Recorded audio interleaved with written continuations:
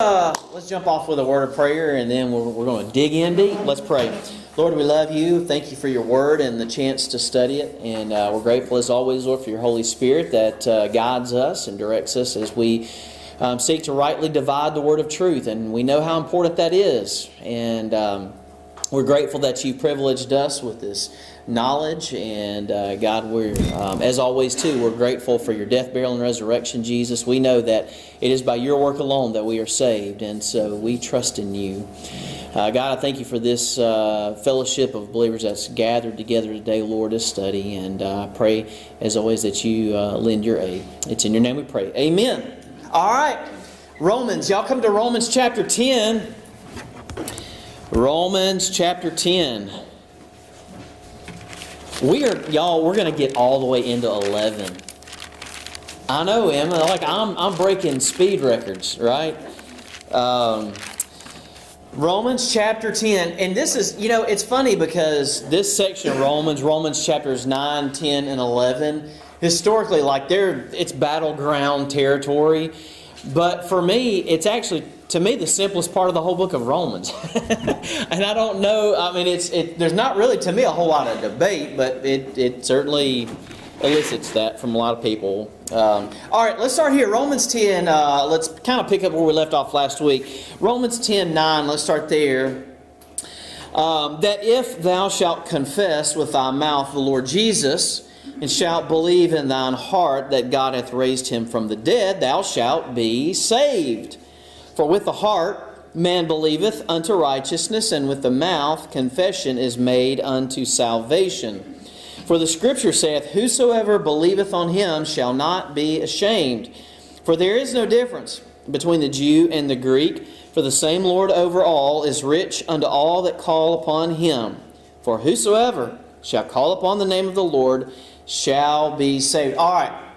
For years, I feel pretty confident in saying this because I, I, I, know most of you pretty well. We have been told that these verses command us, they command us to make Jesus Lord of our lives, beginning with making some kind of public verbal confession. Am I right? Now, I don't know everybody here, Julie. I'm just getting to know you, all right? And and some of you in here, Kaylin too. And here's the thing: I came up through the Baptist ranks, right? And I can tell you this. In fact, when I was in seminary, uh, one of the things we had to do for our evangelism classes, they they gave us we had to buy these evangelism books and there were different strategies and approaches to sharing the gospel. One in particular that I remember that just makes me want to puke now when I think about it was called the net. And it's all about casting your net and drawing in people and getting them saved. We had to memorize the whole book, and I'm not kidding you, it was as thick as this notebook. And the whole idea was to bring somebody to this place where they're willing now to turn over their life to Jesus. Let Him be on the throne of their life and be the Lord. Now we, we're wrangling in things and, and we're straightening up for Jesus now to save us. How does that sound to y'all? Does it sound like grace? it does not um, at all. And so, because you know why? It's not grace. And, uh, I'm going to be very frank here, it's not even biblical. That verse has nothing to do with making Jesus Lord of your life. In fact, you'll notice in those verses we just read, not one time did you even read a command. So, where's this stuff coming from? Well, Glad you asked. Because I have the answer for you. Um, as you're going to see, obviously, this is not only unbiblical, but it's just flat out wrong. Most of the time, preachers um, who are making this argument, when they come to Romans chapter 10, especially verses 9 and 10, they will, they will couple these verses with other passages of Scripture. And in doing so, they're being biblical. They're using the Bible to make a point that you need to make Jesus Lord of your life. Now, what are these other verses? Where are they? Where do they come from? Now, hold your marker here in Romans 10. Let's let's go down this Baptist road. This is the old time religion. Are y'all ready? So we're going to pick up our cross. yeah, that's well, that's one of the stops along this route. Y'all come back first though. Let's go to the one that just really wreaked havoc in my life, Matthew chapter 7.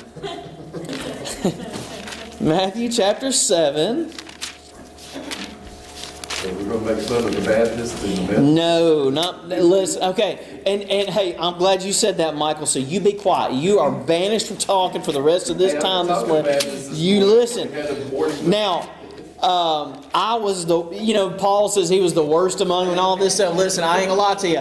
I was the most Baptist among the Baptists, okay? So I stood in pulpits many a Sunday and commanded people to serve on missions and to teach and to give and get baptized and do all this stuff and confess Him as Lord. I've been there and I've done that. Let me tell you, though, this is not an effort. And I need to say this to my YouTube audience, whoever's out there maybe listening to this. In all sincerity, this is not a bash session. This is a correction session. We are commanded in Scripture to convince, rebuke, exhort. But listen to this. You ready, Michael? This is hard for you and me. With all long suffering. You don't like that. Now, you and I have suffered on the well, I am rebuking you, Michael. So listen. this is hard. So I am speaking from personal experience. In fact, this is. If y'all want me to, I'll kick into Baptist mode here in a minute, and I'll, I'll offer an invitation if y'all want to, and y'all come down to the altar, and, and I'll pray with you, and we'll, we'll pray over your, you know, toe fungus or whatever you may have, and we'll ask the Lord to save you. But so here's what happens. Romans 10 9, that if you confess with your mouth Jesus is Lord and believe in your heart that God is raised from the dead, you shall be saved. For with the heart one believes unto righteousness, and with the mouth confession is made unto salvation. And these preachers, boy, they're just bloviating. And they're trying to convince you, Michael, because obviously you are a sinner in need of salvation, but you're not ready yet until you're willing to make Him the Lord of your life. I walked down. Now, how might I come to this conclusion? Well, the Bible obviously states it. And who better to turn to than the Lord Himself? These red letters. And what do these red letters say in Matthew chapter 7, verse 21? Not everyone that saith unto me, Lord, Lord, Caitlin, this sounds familiar, doesn't it? We got Baptist roots. I know. Mississippi Baptist roots. I've been there. I've been there. Not everyone that saith unto me, Lord, Lord. It's not just a mouth thing shall enter into the kingdom of heaven, but he that doeth the will of my Father which is in heaven. Many will, this is where the guilt part comes in now, right? Because you may not quite be ready in the moment because you may not realize how terrible you are. But let me just tell you how terrible you are. You can be very religious, but according to Jesus right here, you really need to pay attention. He says, Many will say to me in that day, Lord, Lord, have we not prophesied in thy name, and in thy name cast out devils, and in thy name uh, done many wonderful works? And then I will profess unto them, I never knew you. Depart from me, ye that work iniquity. And then they'll, they'll go, there's another stop along this road of, of guilt and shame to, to force you into this corner to where you say, I need Jesus as the Lord of my life. I'm ready to turn it over to Him. And so we go to Luke chapter 9. This is Michael's favorite passage. And if he were a Baptist preacher, this is what he would use. right, Michael? Uh, Luke chapter 9, verse 23. Now, guys, this is biblical.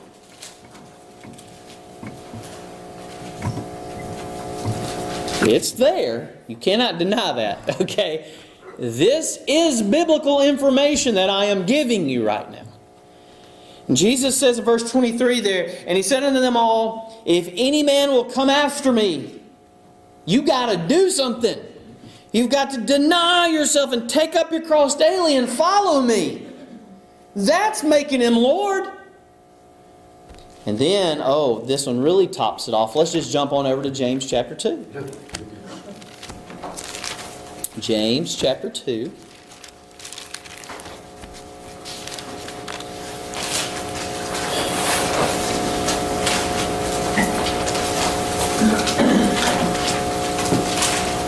And maybe verse 24. We'll just cherry pick one here. verse 24. Ye see then how that by works a man is justified and not by faith only. So, hey, listen. If I'm a man of the word, I've been called to preach, and I have been called to invite sinners to be saved.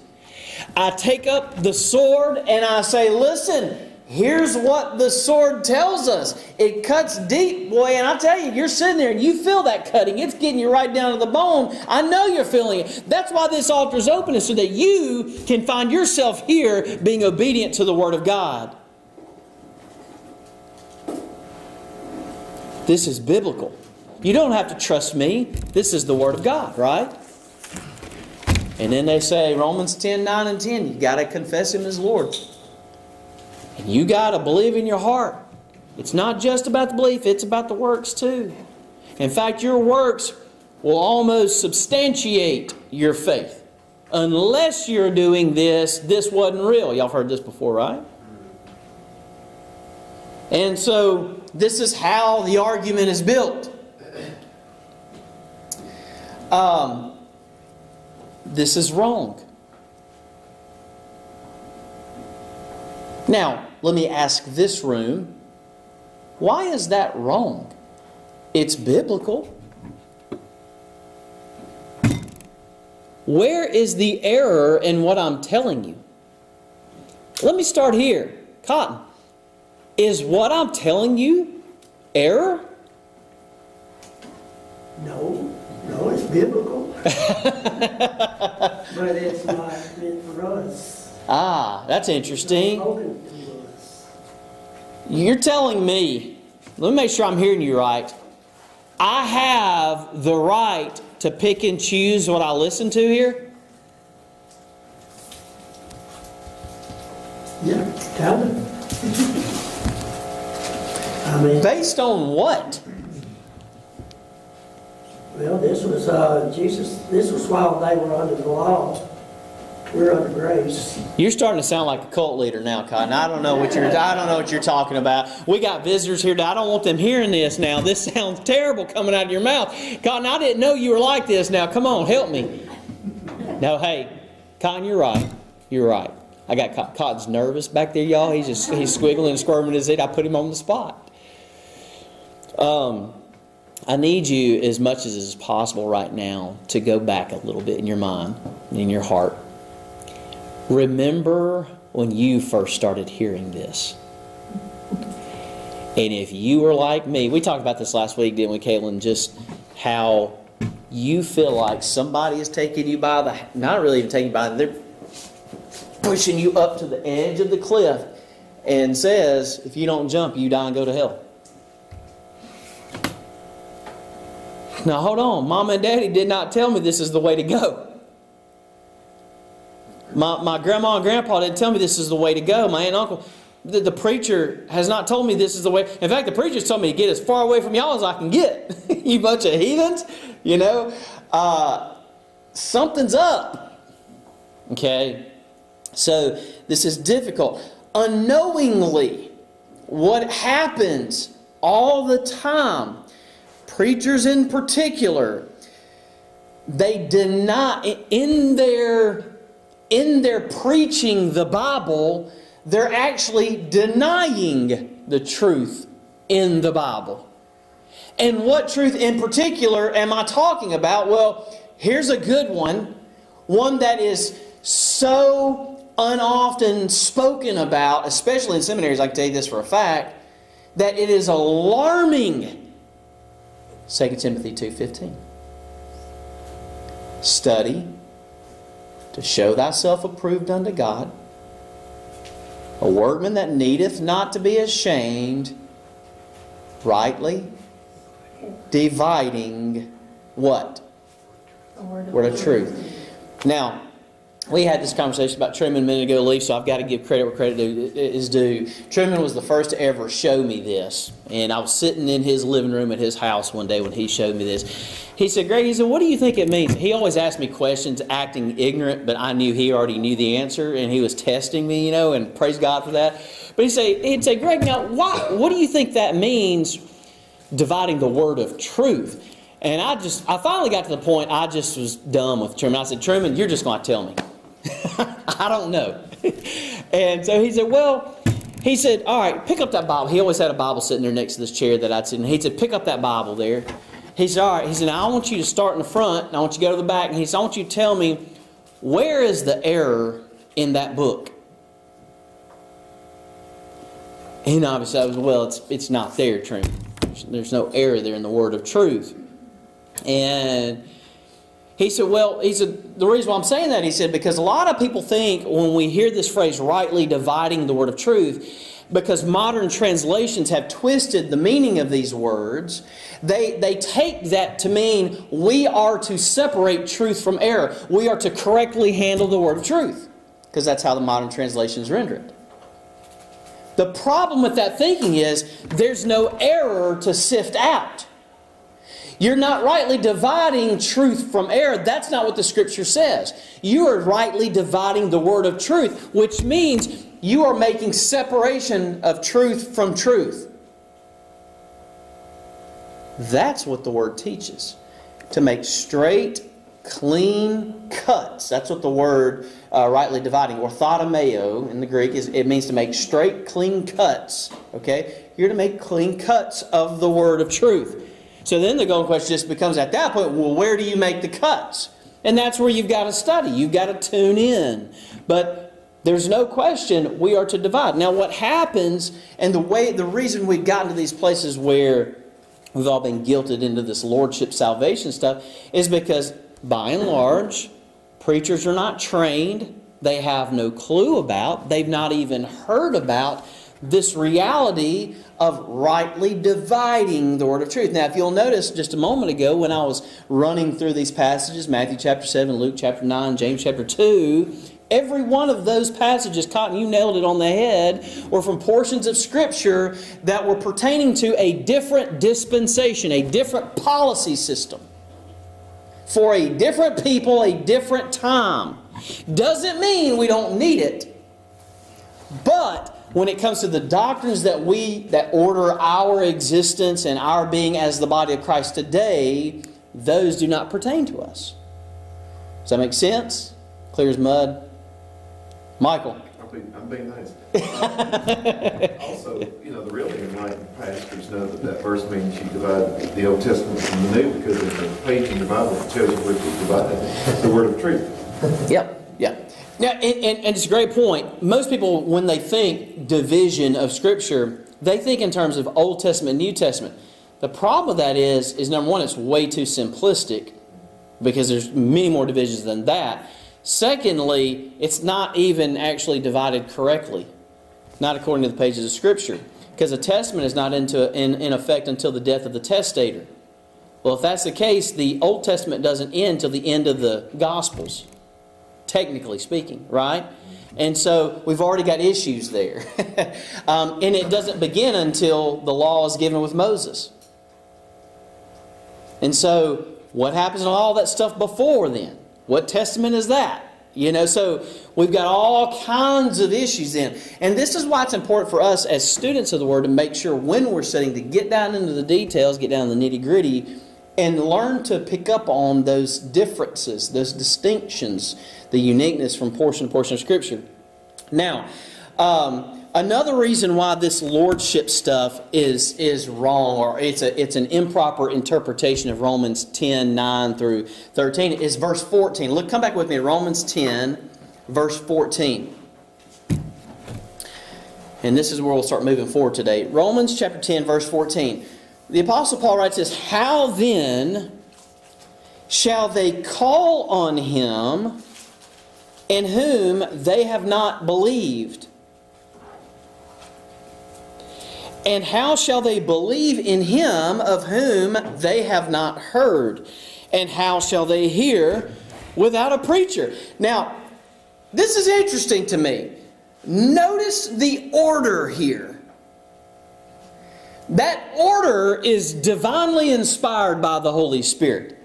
Paul wasn't just willy nilly throwing things out there. There is an order to that verse, and it's actually in reverse order in the way that someone experiences salvation. Okay? And so notice the first thing that happens is somebody preaches, right? Then somebody hears what's being preached, right? And even in that transaction, there are other things happening that aren't even visible, correct? The Holy Spirit's doing work and all kinds of things. What happens after they hear? Then what happens? Then they believe. Then what happens after they believe? They can call. All right, now here's my question. This is a big one. At which of those stages is a person justified? Let's read verse 14 again. How then shall they call on him in whom they have not believed? And how shall they believe in him of whom they have not heard? And how shall they hear without a preacher? So again, you've got these stages preaching, hearing, believing, calling. Which of those stages, at which one of those stages is a person justified? At the point they've been preached at? At the point they've heard? At the point they've believed? Or at the point they've called? At which stage are they justified? When they believe, believe, What makes you think that? Scripture tells us. Ah, where? First Corinthians 15. You don't even have to go that far. We're going to go there, though, Emma. Go back just a few verses to verse 10. What does the first part of verse 10 say?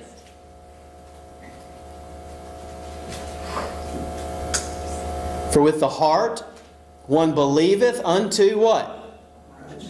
Now, when we talk about being justified, that means being brought into alignment. What are we aligned with? His righteousness. So, being justified is attaining righteousness.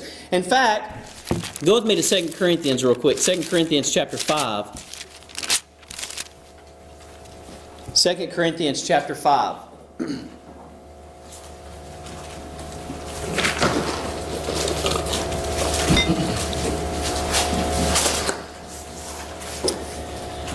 Second Corinthians chapter 5. Look with me at uh, verse 21. 2 Corinthians 5, verse 21. For he hath made him, God hath made Jesus, to be sin for us, who knew no sin, that we might be made what? The righteousness of God in him, in Christ. So, what happens when you believe in the work of Christ? What happens? You are made the righteousness of God. Let me sum that up in one word. You are justified. Okay? Now, are you saved at that moment? Saved in the sense we've always thought about being saved. Saved in the sense that we are now secure and we will get a home in heaven.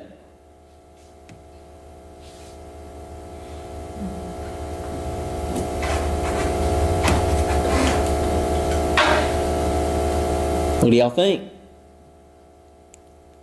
Julie, Julie, you're bold. Julie said, no. And then as soon as she said, I saw her, she kind of like pinched her lips, like, maybe I shouldn't have said anything. He's going to call on me now. Why would you say no? because we have to believe Jesus died, was buried, and rose. Okay. Nowhere there does it say, at least to us, Mhm. in my opinion, Yeah? Anything about Jesus' death, burial, and resurrection. Okay. All right. So, my question is, though, at the moment you do believe the death, burial, and resurrection of Jesus Christ, okay, we know at that moment we're justified, we're made the righteousness of God. At that moment, though, let's say we drop dead.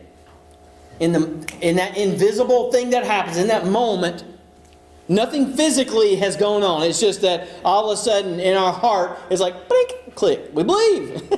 okay? So that happens. We're now justified. If we died right then, would we wake up in heaven? You said you would. Yeah, Yes, Would we be saved? yes. yes. Do y'all see the conundrum though? Because of verse 13 back there in, in Romans chapter 9? Uh, or 10, excuse me. For whosoever shall what? Call upon the name of the Lord shall be saved. But this is where you got to keep reading. Verse 14 provides some very valuable commentary for us. Okay?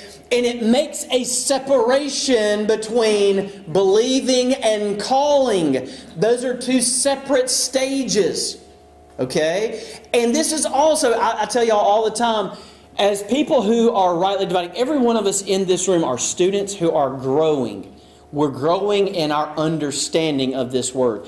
And right division is one of those things that helps us become more and more precise. We have got to learn, especially in this culture that we're in, this very religiously saturated culture, we have to learn to be very precise about how we explain these doctrines. Okay?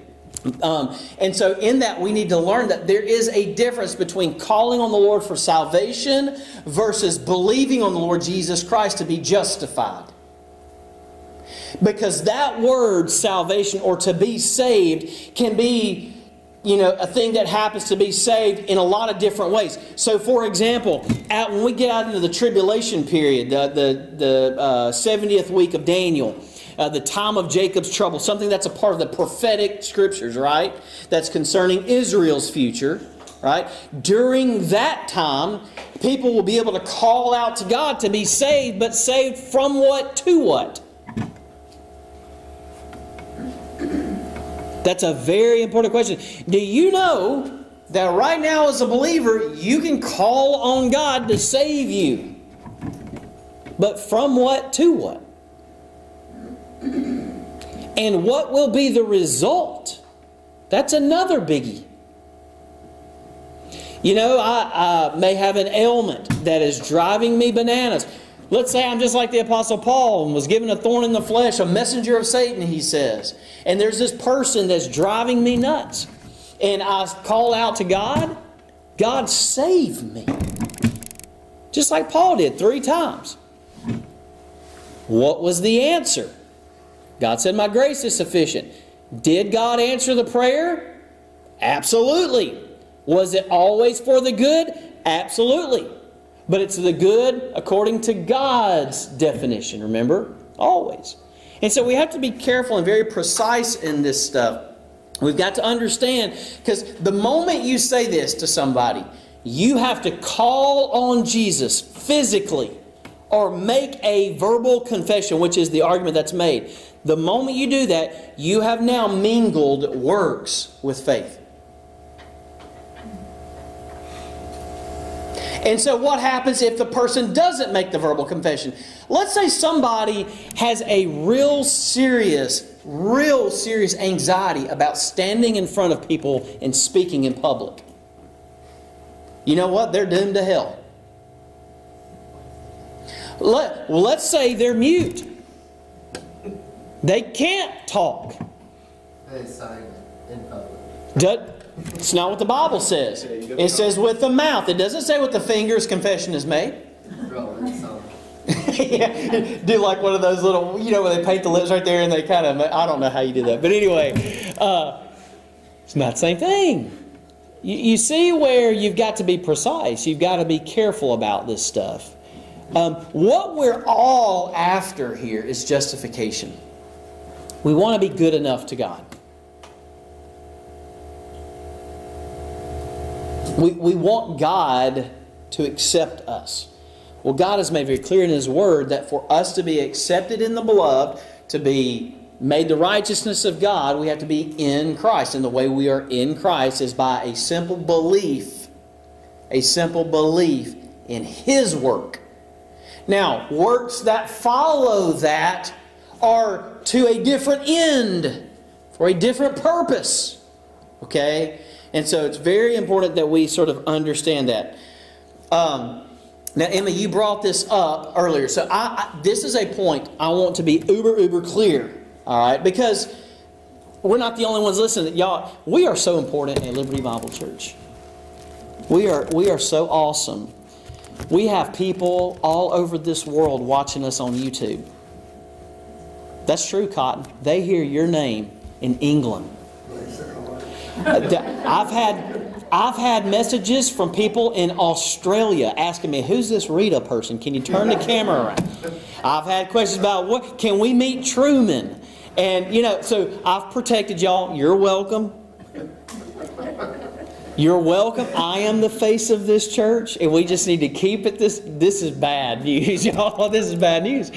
But we got people listening, and here's the reality: I have no clue who will happen upon this message.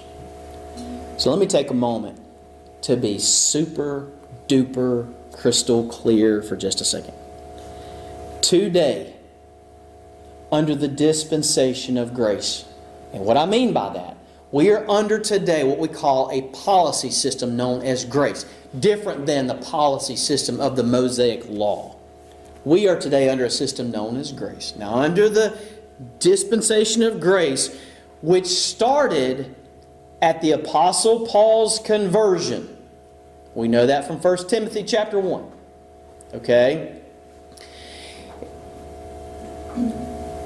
This dispensation which started at the apostle Paul's conversion and is outlined by the terms of the revelation that was given to the apostle Paul. Okay? Here's what it states.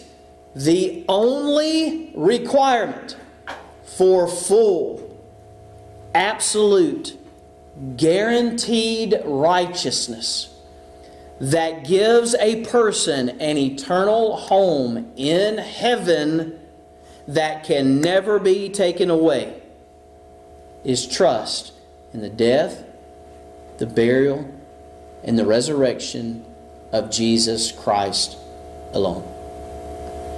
Not any of your work not any of your relatives' work can make up that for you. It is a belief in His work alone. It is faith plus nothing. Now, how do I know that? Because it's not just my word you have to go on. Y'all know this. Go with me to Romans chapter 1. This is just a springboard I like to, to use to explain this, if you will. Romans chapter 1. Paul writes in Romans 1, verse 16 For I am not ashamed of the what? The gospel of Christ. That is the good news of Christ. For it, it being the gospel or the good news of Christ, for it is the power of God unto salvation to everyone that does what? Believeth. There's nothing else other than the believething, right? Uh, once you believeth the gospel of Christ, God's power is effective to save you at that moment. So the golden question then becomes what is the gospel of Christ? If it is that important, we need to know what the gospel of Christ is because it alone is the thing that can give us eternal security and that gives us that home in heaven one day. And so, where is it? Where do we find the gospel of Christ? Anna? Emma? I'm tired. The Diet Coke hasn't really kicked in yet. Emma. 1 Corinthians. 1 Corinthians chapter 15. All right, go to 1 Corinthians chapter. I don't. Where did I come up with Anna? That was random. All right, 1 Corinthians chapter 15. All right, verse 1. 1 Corinthians chapter 15, verse 1. Again, Paul says it very clearly. He says he's not ashamed of the gospel of Christ. It is the power of God unto salvation for everyone that believeth. So this is the God. We're about to read the gospel of Christ that we're supposed to believe in, put our trust in, okay, so that we can be saved. Here it is. 1 Corinthians chapter 15, verse 1. Notice what Paul says. He says, Moreover, brethren, I declare unto you the gospel which I preached unto you, which also ye have what? Received. This is what I'm asking you to do right now. And this is for the person that may be tuning in on YouTube. Maybe this is the first time it's ever been explained to them. This is what I'm asking you to do. I'm asking you when you hear what we're about to read, that you'll receive it as the truth. I'm asking you that you'll receive it as the work that is good enough to save you. That's what I'm asking. Will you do that? Well, let's keep reading. Paul writes, By which also ye are saved. And he says, If you keep in memory what I preach unto you, he's talking about calling to remembrance there, unless ye have believed in vain. For I delivered unto you first of all that which I also received. How that, here it is, here it is, the plain and simple gospel of Christ. How that Christ died for our sins according to the Scriptures, and that he was buried, and that he rose again the third day according to the Scriptures. Now, let me ask you a very simple question. Where in those verses does it say you need to pray to make him the Lord of your life? Where in those verses does it command you to confess your sins to be saved? Where in those verses does it command you to be water baptized to be saved? Where in those verses does it command you to give so that you can be saved? Where in those verses does it command you to go through the sacraments to be saved? Where in those verses does it command you to teach or to go on missions or to be a deacon or a Sunday school teacher or any of those things? Where does it command that? It's not there. You know why? Because this verse, these verses are not talking about your work. And you know why? Because your work cannot save you. You are a fallen being. You've got to have His help. So here's the beautiful news Romans chapter 5, verse 8. Paul tells us, But God demonstrates His own love toward us in that while we were yet sinners, Christ died for us. Paul tells us in Romans chapter 4, verse 5 that God, he, it is our faith that justifieth the ungodly. I mean, this is wonderful news for us. Christ died for the ungodly. That's all of us. So I'm asking you, will you receive that as the truth? That's what will save you. Now let's move forward. Come back with me to Romans chapter 10. Again, I want to make a, just a quick personal note here because trust me when I tell you, this is still fresh for me. And when I say this, I mean accepting this notion not only of right division, but everything that sort of rains out of it. Because it's a lot.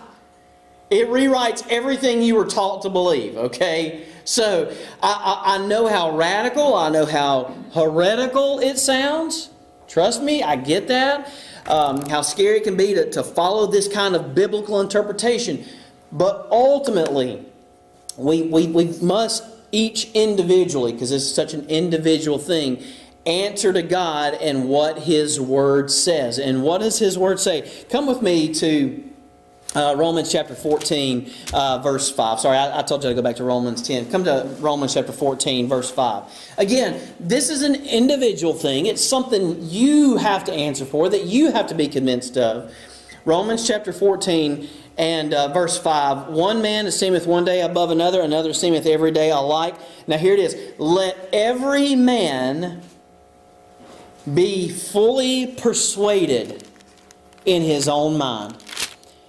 I'm going to say something that no preacher on planet Earth has ever said from the pulpit. Are y'all ready for this? Because I am aware that this could dwindle my congregation. If you don't agree with right division, you don't have to sit here and listen to it. You don't. In fact, I'd encourage you to do this. Take time on your own to sit down with the Word, the Word alone, read it for yourself, and see if you come to the same conclusion. Here's what I trust I don't trust me, I don't trust you, I don't trust John Calvin, I don't trust Arminius. I don't trust MacArthur. I don't trust fill in the blank, Billy Graham. I, I don't trust any person. What I do trust is that the Holy Spirit, coupled with His Word, will get the job done. If at the end of that you don't have that agreement, I understand.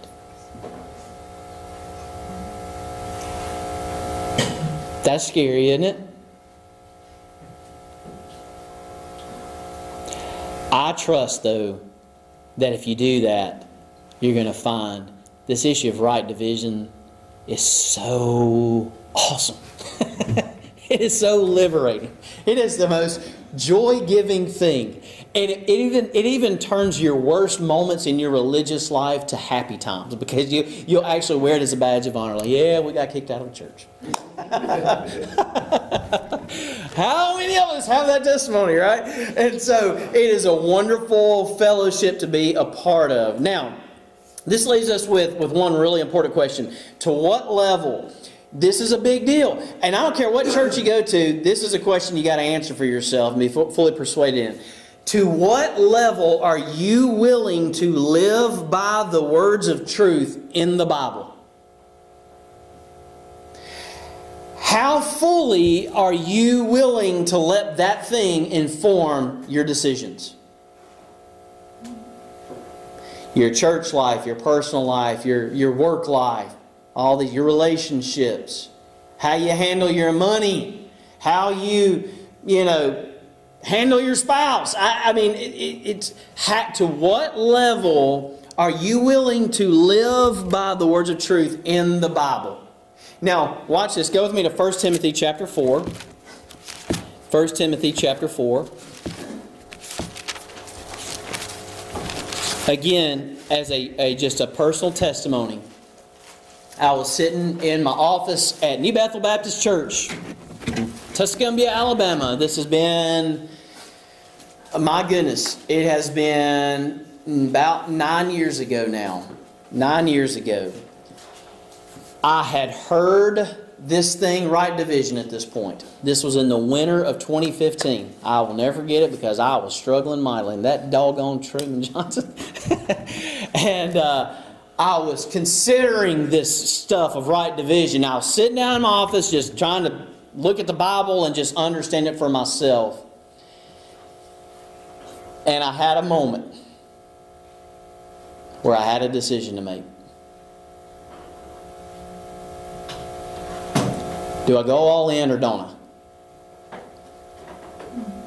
Is this right or isn't it? And, and, and when you have these kind of moments, like this is like crossroads kind of stuff. I mean, you go to the, you know, if you go to the left, you're doomed. if you go to the right, you feel doomed, right? And it's just like, what do I do? And in 1 Timothy chapter 4, look with me at verse 15. And I'd advise everybody to do this.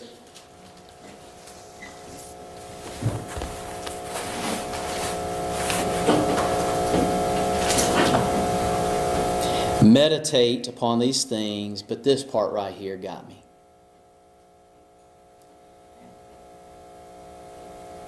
Go in halfway.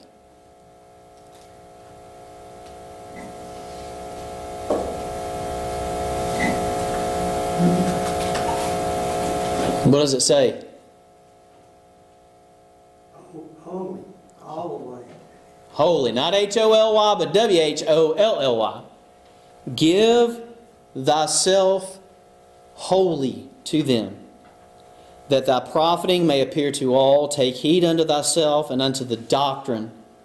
Continue in them, for in doing this thou shalt both save thyself and them that hear thee. Um, There was another moment in my ministry. I uh, I had come to the place where I was, as a full time vocational pastor, trying to determine whether or not I just keep fighting. If I stay in the denominational model and work from within that and try to be, I guess you could say, a reformer. uh, that's kind of funny. Um, do I try to do my best to just keep duking it out? Do I just kill the thing? really, that's what was happening. I was killing a church.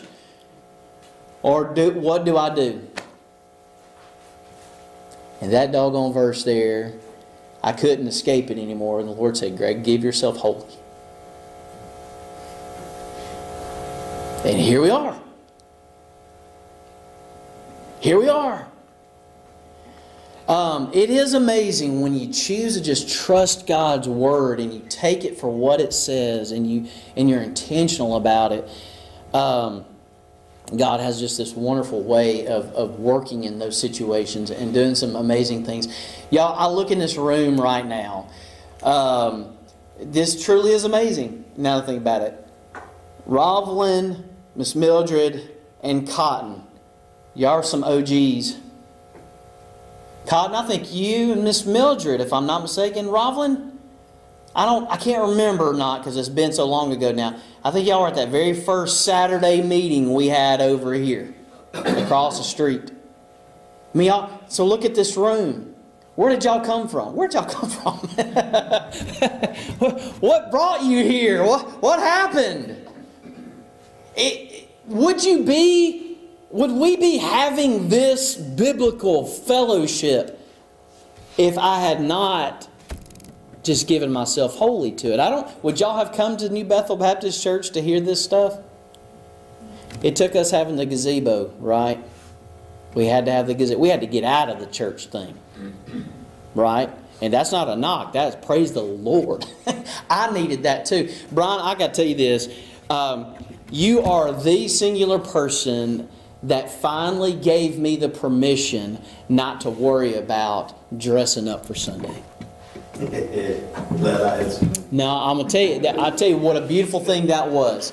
That helped me relax beyond anything that I could possibly imagine, and it was such a good thing because I remember when we were at the at Truman's. It's when we finally started moving up onto the driveway. I remember one Sunday you showed up in shorts with a button-up shirt untucked, and I think you had flip-flops on. And I thought, praise the Lord, because it was eight cajillion degrees out there, and I had blue jeans on, my shirt tucked in. I was like, this something's got to give. That next Sunday I wore flip-flops. I did, and that's because you. And I praise God for that.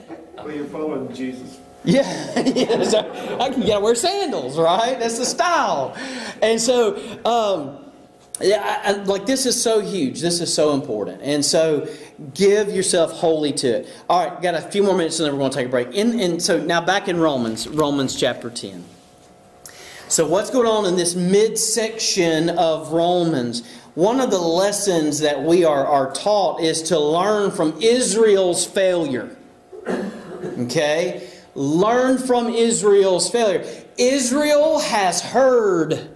They had preachers sent to them. They had heard. Um, they had ample opportunity, and yet they rejected God. God, and so what happened as God initiated change, Israel rejected it, and Israel denied the fulfillment of prophecy as it even happened in front of them.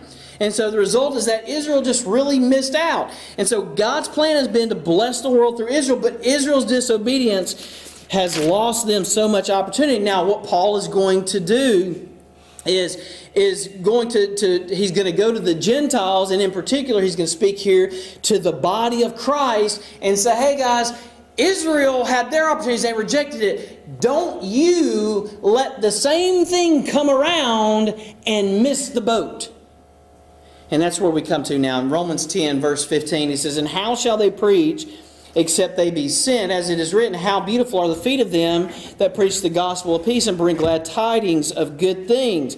But they have not all obeyed the gospel. So Paul's talking here to Gentiles about Israel in the past as the gospel came to them. Okay?